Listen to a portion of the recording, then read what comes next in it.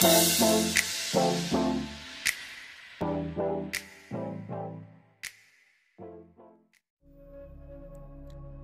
warahmatullahi wabarakatuh. Halo semuanya, kembali lagi di channel Avery Mag Oke nih, jadi fan kali ini saya ingin bikin tutorial tentang bagaimana caranya untuk logout Atau keluar dari akun Agoda teman-teman ya. Nah, jadi kalau kalian nggak tahu bagaimana cara untuk logout Mungkin kalian tuh pengen ganti akun gitu ya. Nah, kalian bisa ikutin aja tutorial kali ini. Oke.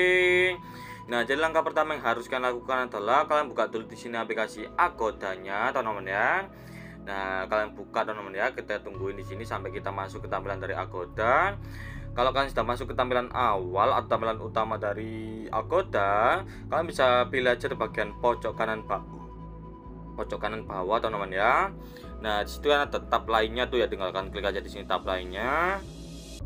Nah, kemudian tinggalkan lihat di sini ada akun kalian. Kalau kalian pengen keluar dari akun kalian, kalian bisa pilih aja di bagian pojok kanan atas. Di sini ada tombol keluar, teman-teman ya.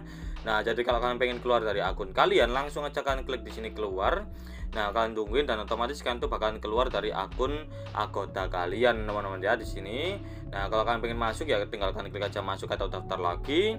Nah, jadi begitulah caranya. Caranya itu cukup simple. Kalian bisa ikutin aja step by stepnya dan kalau kalian masih bingung kalian boleh komen di kolom komentar oke okay?